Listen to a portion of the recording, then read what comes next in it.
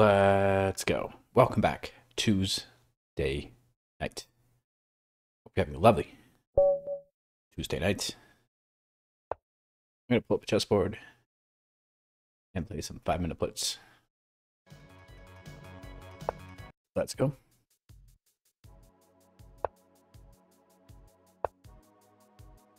Opponent is playing a bit of a possum. Is this going to be... What is this? Ready to castle. Castle, no hassle.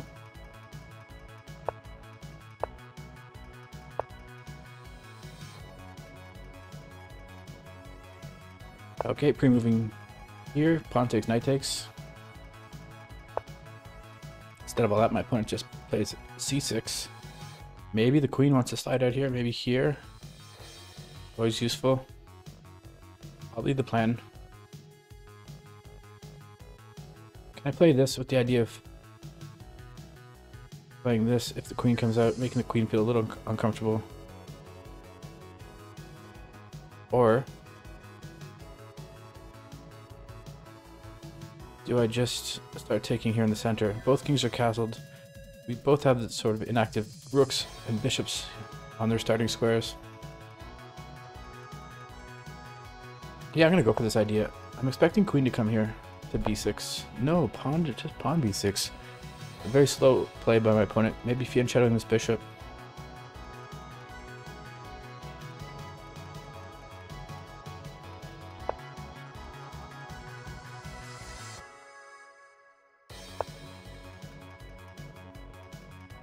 Very strange. I don't get it.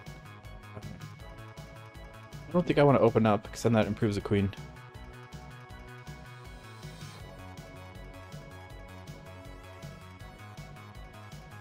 Huh. Okay, bishop's gonna transfer onto this diagonal.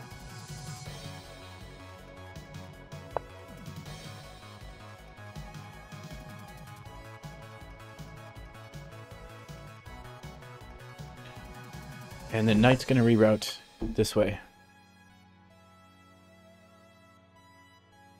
Dropping the bishop back was important before moving the knight.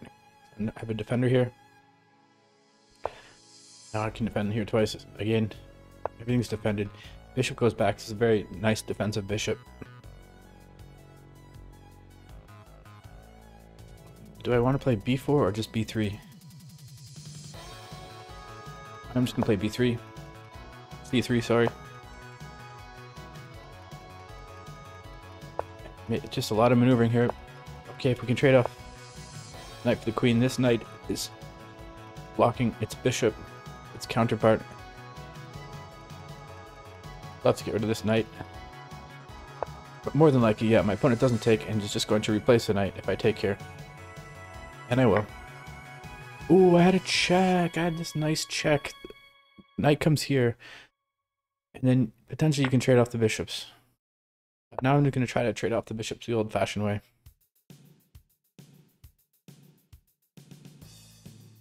Let's go. Yeah. Bishop can drop back because the rook is slide slided over. Uh, very likely, yeah, bishop's going to drop back. Um, but now... No, I still don't even have this. Not threatening here because you can just take with the knight. It's a time to lash out with this f5, f4. Or first...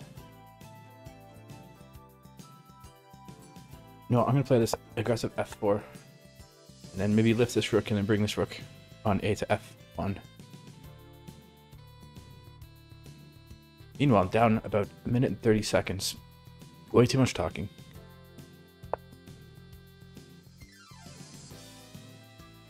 Okay, here I can push past because you can't take because then I have this check here, this very scary check. But if you can't push past, uh, taking isn't that great either because I can just check anyways. So my opponent's just gonna let that be.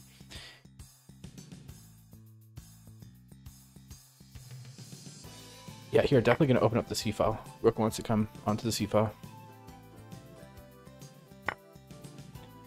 Getting the rook onto the c-file. Just quickly, is this stronger to play this right away? When is if pawn takes... Uh, there's no check. I'm going to bring the rook to the c-file. Then maybe this check could be useful after takes.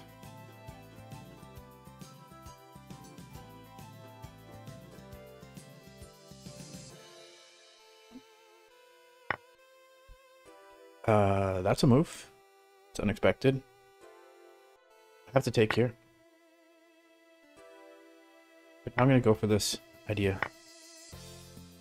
And pre-moving here. No, no, no. That, don't pre-move here.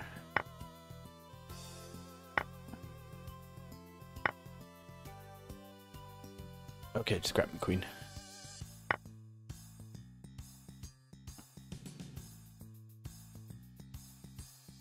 That'll do it.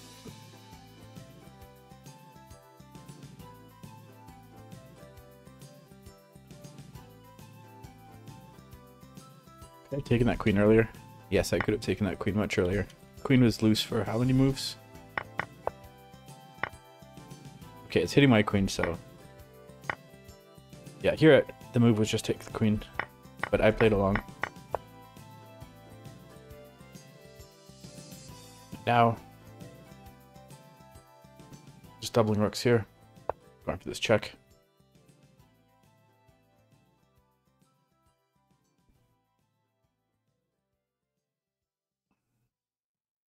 Mm, rook may come back. No, I'm gonna play this check pre-move here. King has to go to one of these two squares. Uh, bishop is defended by the queen. check here.